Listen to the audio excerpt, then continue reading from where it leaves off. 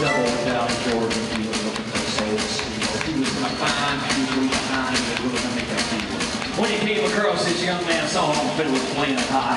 The devil jumped on a different song and said, Boy, what do you like? What again? That was phenomenal, Bill player too. And if you care, there while I make a bet with you.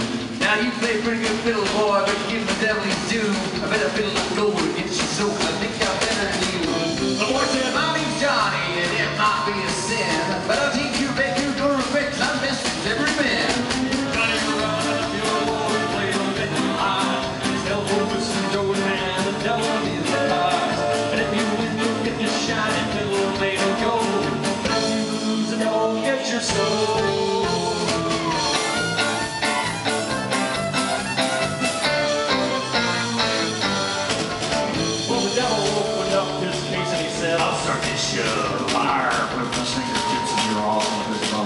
And he pulled the bow across the strings that made an evil hiss.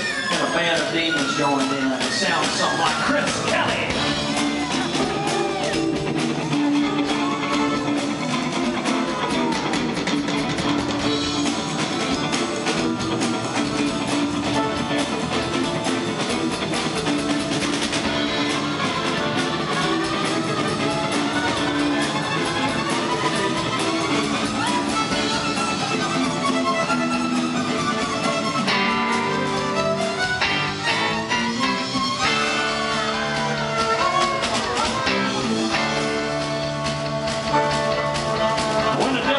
Johnny said, You pretty good, old son. Sit down in that chair right there. Let me show you how it's done.